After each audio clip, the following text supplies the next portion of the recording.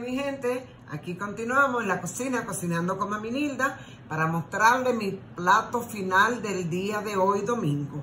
Un rico churrasco con una yuquita con mojito y una rica ensalada. Miren qué rico. Pueden acompañarlo con aderezo de esta, de esta clase, pueden hacerlo con tu aceitito de oliva y tu vinagrito de manzana. Puedes eh, sazonar tu ensaladita a tu gusto. Espero que este churrasco y esta yuquita al mojito haya sido de su agrado, que le presenté hoy humildemente. Eh, le presenté las dos maneras para el que no tenía la dichosa máquina de aire, como yo le digo, lo pudiera hacer al sartén de teflón y quedó muy rico, muy blanditito ese churrasco y muy rico de comer. Así es que buen provecho, señores, y lo acompañé de una rica limonada.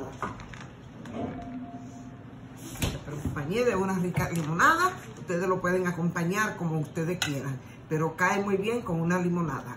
Así que mi gente, espero que le haya sido de su agrado este video de esta noche. Nos vemos hasta la próxima, mi gente. Dios lo bendiga.